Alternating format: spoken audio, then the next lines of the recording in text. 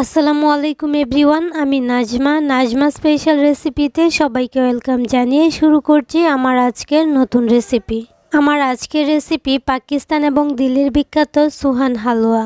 আলহামদুলিল্লাহ, একদম সঠিক মেজারমেন্টে পারফেক্ট মোগলাই সুহান হালুয়া আমি তৈরি করে নিয়েছি। মাত্র চারটা উপকরণে আর সবচেয়ে মজার বিষয় হচ্ছে এটাকে এক মাস পর্যন্ত সংরক্ষণ করা যায়। আমি আশা করছি সবার অনেক বেশি ভালো লাগবে ইনশাআল্লাহ। তাহলে চলুন আর কথা না বাড়িয়ে একটা লাইক দিয়ে শুরু করা যাক আমার আজকের নতুন রেসিপি সোহান হালুয়া তৈরি করার আগে যে পাত্রে আপনি হালুয়াটা সেট করবেন সেই পাত্রটা রেডি করা খুবই গুরুত্বপূর্ণ।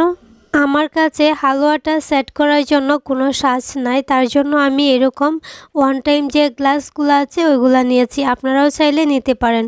এখন আমি আমার পছন্দ মতো করে এই গ্লাসগুলোকে কেটে নিয়েছি। আপনারা চাইলে না কেটেও নিতে পারেন। সুহান হালুয়াটা দেখতে একদম কয়েনের মতো, পয়সার মতো একদম রাউন্ড হয়। তার জন্য আমি এই ওয়ান টাইম গ্লাসগুলো নিয়েছি। আপনারা চাইলে বক্স বা বড় কোনো বাটিতে এটাকে সেট করে নিতে পারেন অথবা বরপি আকারেও কেটে নিতে পারেন। আর এখন হচ্ছে প্রত্যেকটা গ্লাসে অল্প করে তেল দিয়ে আমি ভালো করে ব্রাশ করে নিব। কারণ তেলটা দেওয়ার পর এই হালুয়াটা মোল্ড আউট করতে অনেক বেশি সুবিধা হবে। আবার চাইলে তেলের পরিবর্তে কিন্তু এখানে ঘিও দিতে পারেন। তবে তেল অবশ্যই দিতে হবে, ঘি বা তেল যাই দেন না হলে কিন্তু মোল্ড আউট করতে একটু অসুবিধা হবে। এখন আমি এর মধ্যে দিয়ে দিচ্ছি বাদাম। আমি এখানে দুই রকমের বাদাম দিয়েছি। আপনারা চাইলে বাড়িয়ে কমিয়ে নিতে পারেন। অথেন্টিক সুহান হালুয়ার মধ্যে কিন্তু বাদাম দেওয়া হয়। আপনারা চাইলে বাদাম ছাড়াও কিন্তু সুহান হালুয়াটা বানিয়ে নিতে পারেন। আর এখন একটা মিক্সিং বোল নিয়েছি। আর এর মধ্যে আমি দিয়ে দিচ্ছি পাঁচ টেবিল চামচ হচ্ছে আটা। আটা, ময়দা যে কোনো একটা নিলেই কিন্তু হবে। আর দিয়ে দিচ্ছি সম পরিমাণে গুঁড়ো দুধ। এখানে লিকুইড দুধের কোনো প্রয়োজন নেই, শুধু গুঁড়ো দুধ দিয়েই কিন্তু এই হালুয়াটা তৈরি করা হয়। আর দিয়ে দিচ্ছি স্বাদ মতো লবণ। এখন এই শুকনো ইনগ্রিডিয়েন্টসগুলো ভালো করে মিশিয়ে নিয়েছি। আর এদিকে চুলায় একটা প্যানে আমি দিয়ে দিচ্ছি ওয়ান থার্ড কাপ ঘি।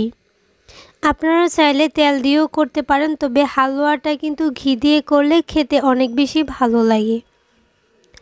ঘিটা যখন গরম হয়ে আসবে, বেশি গরম করা যাবে না। ঘিটা ভালোভাবে গরম হওয়ার পর এর মধ্যে দিয়ে দিচ্ছি চিনি।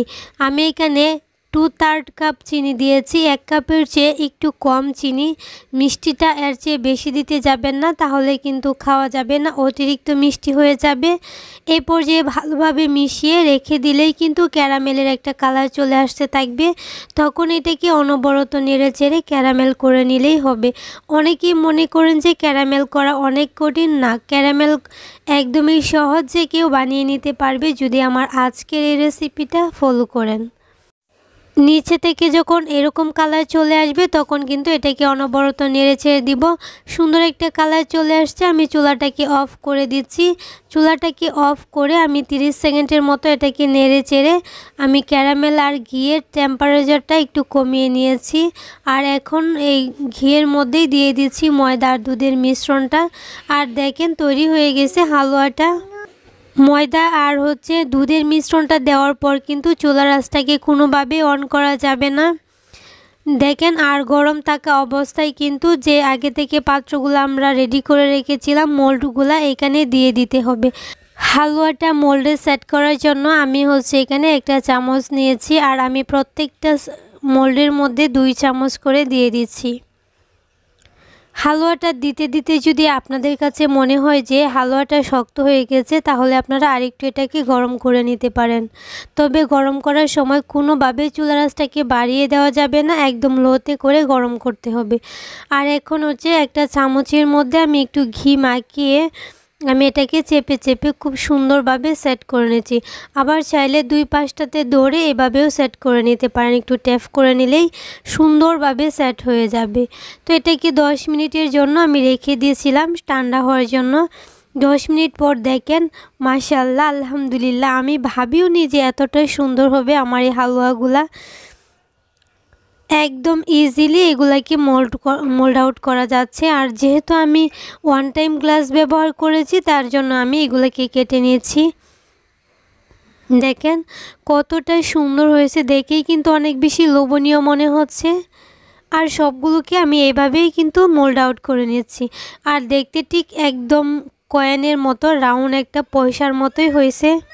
যদি আপনাদের হালুয়া খেতে ইচ্ছে করে, তাহলে আমার মনে হয় মাত্র দশ মিনিটে চারটা উপকরণে এটা হচ্ছে একটা বেস্ট হালুয়া যেটা ঝটপট তৈরি করা যায়। যদি আমার রেসিপি ভালো লাগে, তাহলে কিন্তু আমার চ্যানেলটাকে প্লিজ সাবস্ক্রাইব করে দিবেন আর পাশে থাকা বেলাইকনটা অন করে দিবেন। আর যারা অলরেডি এই কাজটা করেছেন, তাদেরকে অসংখ্য ধন্যবাদ। ভালো লাগলে একটা লাইক করে দিবেন আর কমেন্ট করে জানাবেন যে আজকের হালুয়ার রেসিপিটা আপনাদের কাছে কেমন লেগেছে। আমার কাছে তো আলহামদুলিল্লাহ অনেক অনেক বেশি ভালো লেগেছে। সবচেয়ে মজার বিষয় হচ্ছে এই হালুয়াটা আপনারা এক মাসের মতো সংরক্ষণ করে খেতে পারবেন। সবাই অনেক বেশি ভালো থাকবেন, সুস্থ থাকবেন। আবারও দেখা হচ্ছে নতুন কোনো রেসিপিতে। আল্লাহ হাফেজ। আসসালামু আলাইকুম।